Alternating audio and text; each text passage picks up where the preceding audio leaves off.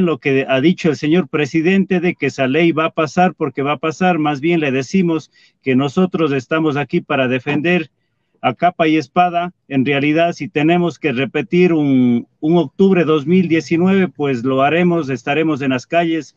En realidad, esto genera eh, incertidumbre, no hay paz en el país, no hay empleo. En realidad, lo que nosotros más bien pedimos al gobierno es tranquilidad, paz y poder ir saliendo adelante en todas las actividades. Eh, queremos siempre eh, decir al gobierno que estamos apoyando el empleo, sí, pero el empleo digno, el empleo que sea justo con, con jubilación. No puede ser posible que, ellos quieran eh, precarizar las relaciones laborales, tener a los trabajadores agachados la cabeza.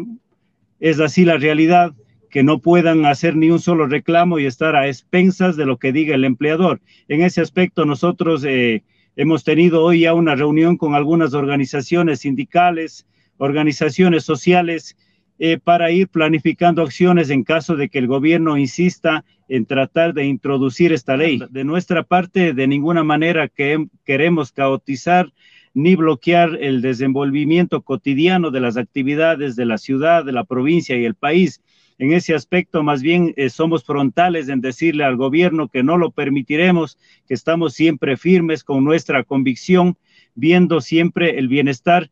El 4 de octubre en la ciudad de Quito habrá una vigilia ya, esperando a que el gobierno más bien tome eh, acciones que vayan en bien de la, del pueblo ecuatoriano. Esperamos no llegar a un octubre 2019, pero si las cosas van eh, de mal en peor, pues tendremos que adoptar esa posición. Inicialmente, eh, por ahora se dará en la ciudad de Quito la vigilia con organizaciones sociales y sindicales que son filiales al Frente Unitario de Trabajadores. Y luego de eso, pues estaremos reuniéndonos para poder ver eh, las acciones que se vaya a ir tomando en caso de que el gobierno insista en introducir esta mal llamada ley.